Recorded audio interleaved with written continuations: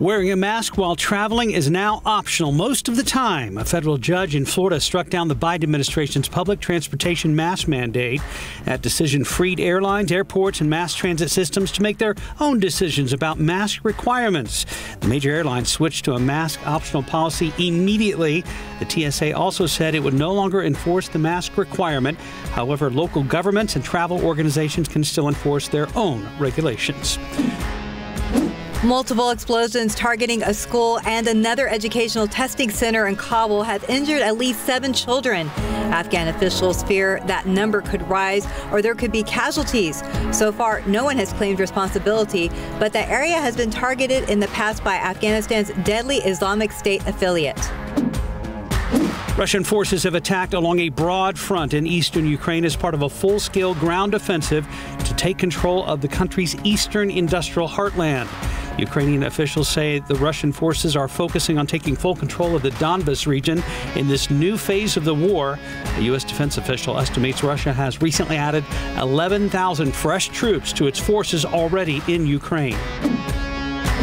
Police in South Carolina have made a second arrest in the weekend mall shooting in Columbia. The 20 year old man is facing multiple charges, including attempted murder.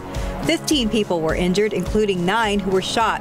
The first suspect arrested is now facing charges, including attempted murder. An arrest warrant out for a third suspect. Police think the shooting stemmed from an ongoing dispute between the suspects.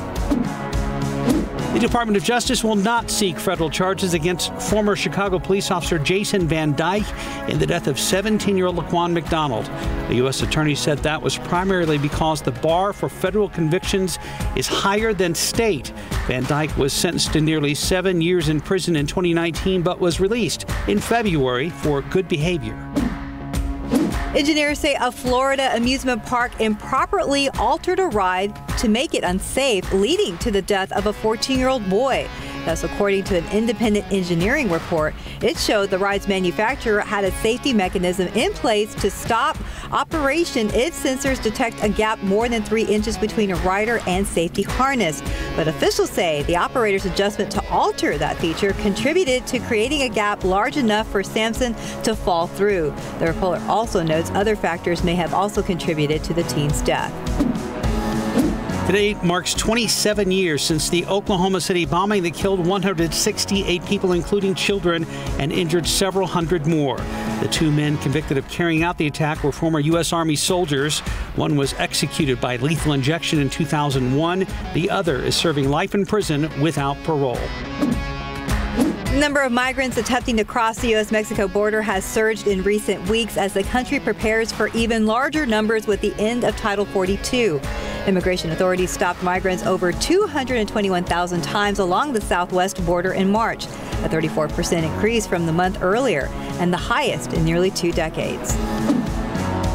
Colorado River is now one of the most endangered rivers in the U.S. That's according to one conservation group. They cite climate change and outdated water management practices as contributing factors. According to the group, the Colorado River's flow could be reduced by 10 to 30 percent by the year 2050. The Colorado River is a major water and electrical source to more than 40 million people in the West, including Texas. And that's today's 9 at 9.